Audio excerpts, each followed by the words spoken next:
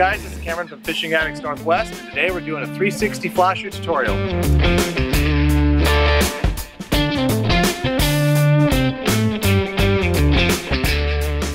So let's start with some basic equipment. First, you're going to want to use a long, soft, but heavy rod. Having that longer rod acts as a good shock absorber for when you're fighting the fish with this heavy gear.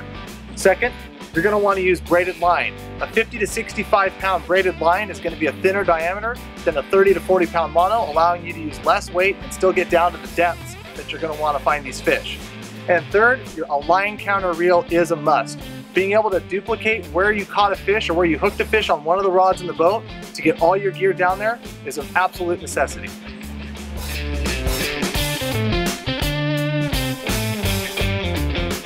Now let's talk a basic rigging. We're gonna start with our main line and you're gonna have a little bead right here that's gonna protect reeling in the swivel into your top eye of your rod, followed by a swivel that's gonna have the duo snap attachment for your weight. This is gonna be for a sliding setup and we're gonna talk about a fixed setup here in a second. Then you're gonna have a large ball bearing swivel or a large chain swivel and what that's gonna do is prevent twist from going up your line caused by the 360 flasher. Next, attached to your mainline swivel, you're gonna have a 200 pound bumper. Now you can vary your bumper lengths from 18 to 24, 36 inches, uh, but using a 200 pound bumper will help alleviate a lot of the tangles and get you back fishing in the water.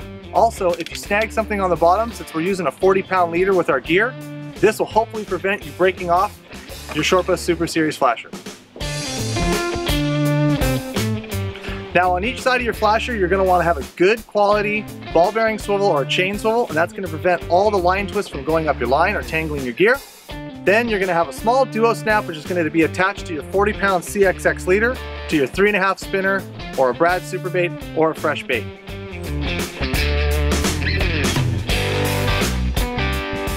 Now you ask 20 different fishermen, you'll get 20 different preferred leader lengths, but a good rule to go by is starting with something that's maybe 28 to 36 inches long.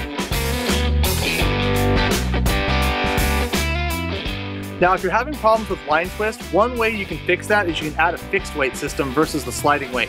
All you gotta do is detach your weight and add it somewhere on your main line swivel and just hang it straight down with the duo snap. That's gonna stop any twisting coming from the 360 flasher from moving up your line.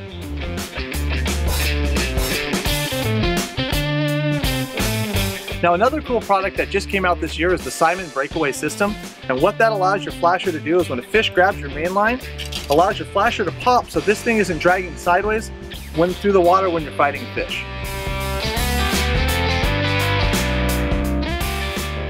Alright guys, there's three types of lures that are really effective behind a Shortbus Super Series flasher. First you have the Simon 3.5 spinners that comes in lots of variation of fish catching colors.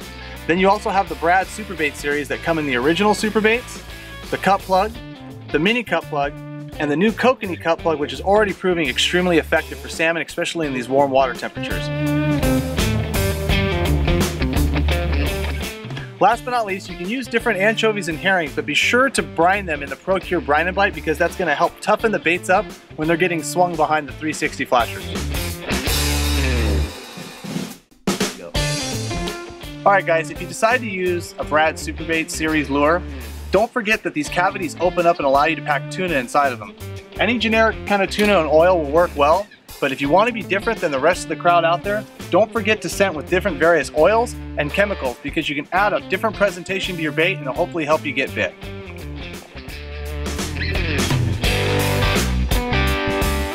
There's no doubt over the last couple years that 360 flashers have helped put more fall and spring Chinook in the box for Columbia River anglers. If you guys like what you see here, be sure to check us out on Facebook at Fishing Addicts Northwest, and we'll see you guys on the water.